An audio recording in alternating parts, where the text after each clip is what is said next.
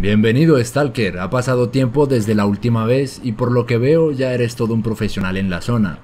Aunque no te gustaría saber más.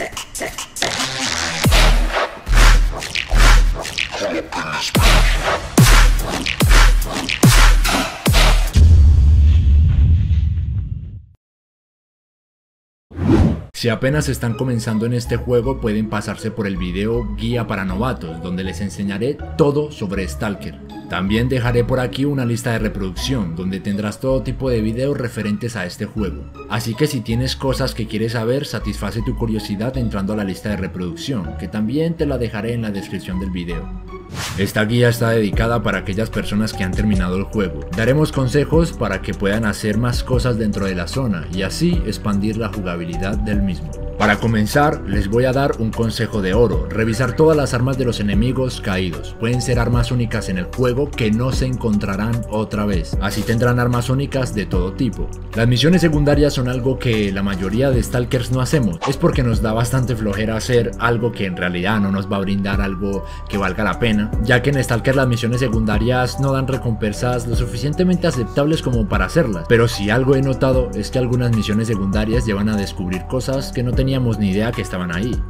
Las misiones secundarias nos llevan a historias, valga la redundancia, secundarias, por lo cual es aceptable hacer las misiones si quieres saber más a fondo sobre la historia de la zona.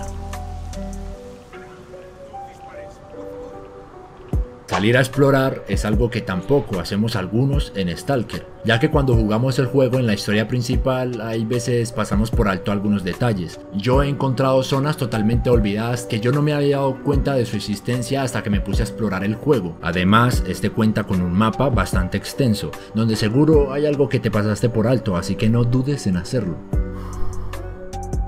Agregarle mods al juego cada día se vuelve una idea encantadora, ya que así el juego tendrá nuevo contenido y así podremos exprimir la experiencia de la zona de una manera distinta. Si gustas puedes pasar por mi video de los mods que necesitas para tu Stalker, ahí recomiendo mods que modifican en gran medida el Stalker Shadow of Chernobyl. Y por último es algo que me he inventado yo, pero que la verdad se vuelve una cacería extrema cazar a los Stalkers en el ranking de la PDA. Hacer esto es totalmente espectacular ya que le da al juego otro respiro y a punto de información que los mismos NPC te entregan vas dando con el paradero de cada uno hasta encontrarlos y acabar con ellos. Aunque eso sí, mejor que lo hagas en una partida paralela que no afecte a la central ya que esto puede llenar de enemigos al hacerlo.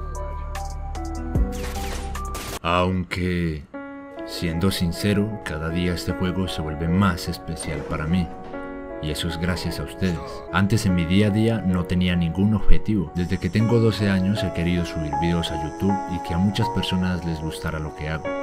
Parece ser que este juego es un recuerdo que nunca olvidaré. Este juego me unió a tanta gente que aprecio, mis amigos de Pixelis of Music y Oir Production, mi madre, hermanos, y ustedes. Hice este video para aquellas personas que querían alargar la jugabilidad en Stalker, pero siempre me hago la misma pregunta, ¿por qué me gusta tanto este juego?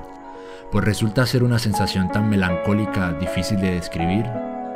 Tal vez es la soledad con la que vivimos que nos acostumbramos al inhóspito de la zona, donde los sonidos extraños son acogedores, donde los lugares destruidos son los más bellos y salir para encontrar un objeto especial se vuelve toda una aventura. Aunque el juego no sea online, cada partida se siente como si todos nosotros estuviéramos juntos.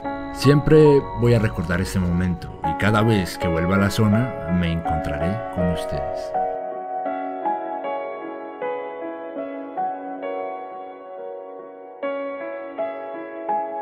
Y sin nada más que añadir, hasta luego.